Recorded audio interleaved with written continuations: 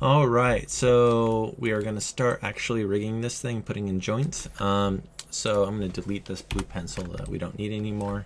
Um, let's start by, um, I'm to turn off the textures and um, turn off the textures there. So I like working with the gray model. Um, and then turn on the topology so we can see all these different lines. This is important when replacing because we want to use this to place our joints in the middle of things. Um, but let's start. Let's go to the rigging tab, go to skeleton, and go to create joints and go to the option box. Um, I'm going to hit the reset tool here. And then I'm going to click, I'm going to hold down X and click in the middle there. So you'll have your first joint that you made, so something like that. Um, then I would start by um, going over here to display, and we want to see the local rotation axis of this. So if we go to transform display, click on local rotation axis, you'll see that you'll, this is this direction of this rig is z, x, and y and it should match the world. So if it doesn't match the world, just reset your rig um, settings, your um, joint settings, to make sure that that looks like that. And we're going to name this. Um, usually we have a prefix for whatever rig this is. So um, this is a mech arm, so I'm going to do MA, and then to do underscore uh, and root. So um, a lot of times we'll add a root joint for most rigs where the placement, um, this is like the placement joint where we put be able to place our whole rig um, in the scene. And then, so that looks good and it's in the middle of the world. There should, everything should be zeroed out. So there is 0, 0, 0, 0 and 1, 1, 1, 1. And then what we'll need to do is duplicate it. So they're not connected right now. So I want a joint that will be mainly rotating around um, or a, a, based one right here. Um, so I'm going to put snap it to the bottom by hitting I can hit V and middle mouse like that and it should snap to the middle this. And you should only have a translate of y here. So V, middle mouse, and then snap to that vertex. Okay. Then I'm going to put another pivot point, Control D, and put it right here.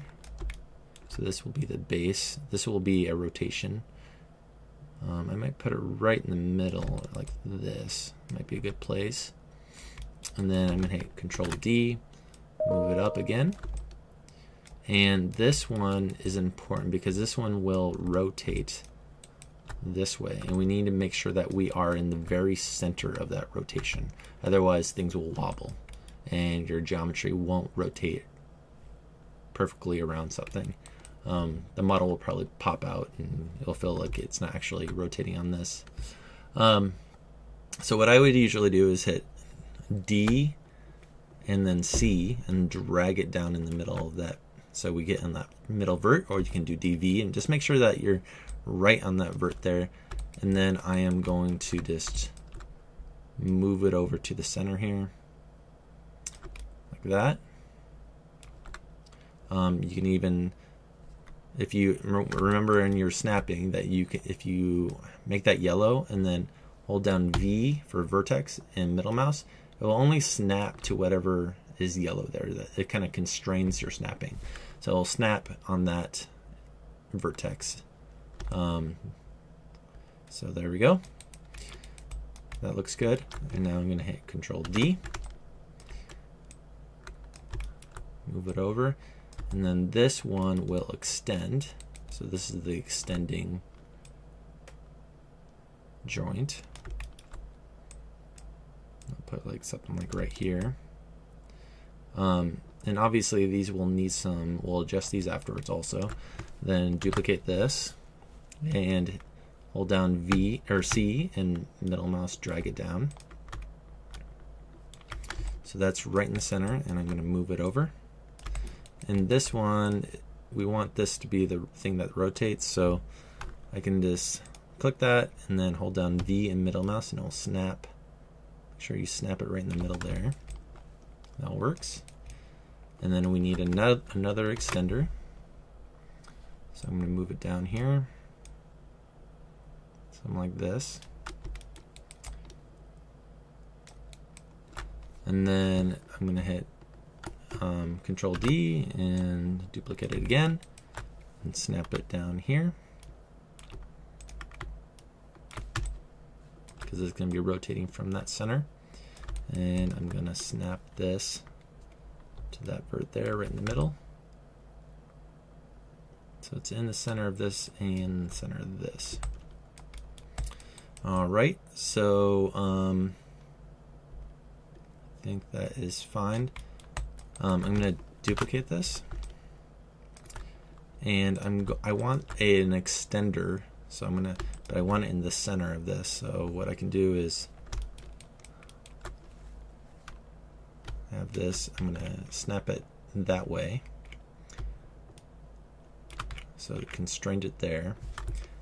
And then I want to pull this right down here. And then I'm gonna snap it this way too to make sure that's right in the middle of this cylinder. There we go. Um, and then I can put this one down here that. Okay. Um, so we have those. Uh, I think that is a good first video um, for adding their joints, and then we're going to correct these. All right.